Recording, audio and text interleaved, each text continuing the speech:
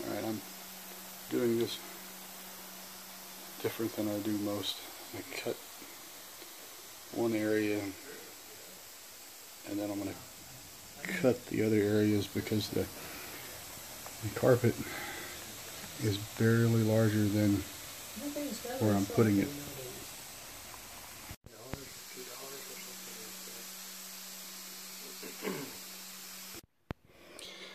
Alright, it's all in there.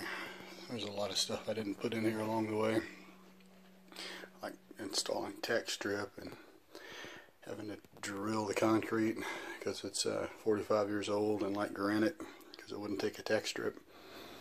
Anyway, uh, just wanted to show the video in conclusion here.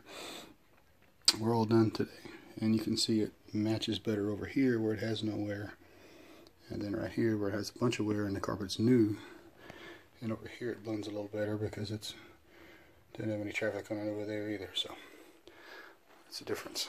You get and the variations in carpet wear and how a patch will look. Alright thanks for watching